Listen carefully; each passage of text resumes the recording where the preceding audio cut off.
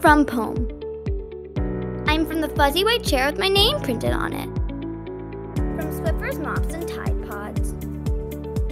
I'm from flashing streetlights and cozy nights, and high chairs filled with chocolate cake crumbs. I am from orchid flowers whose branches drift to sleep.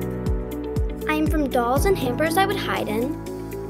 From Chris's and Keenholtz. I am from stubbornness and kindness, and from humor. From lip picking. From Grandma Fum Fum.